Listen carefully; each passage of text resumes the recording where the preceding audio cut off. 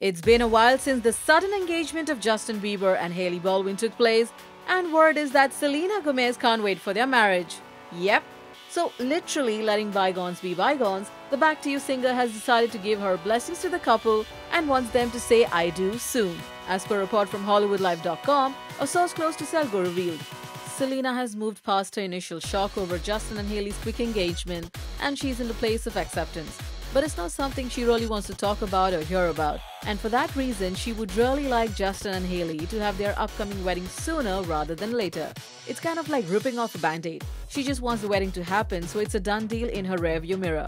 Alright then, so with the blessing from the ex, actually a very controversial ex, we think all is good and positive now. Right guys? Hollywood Now has any thoughts on this?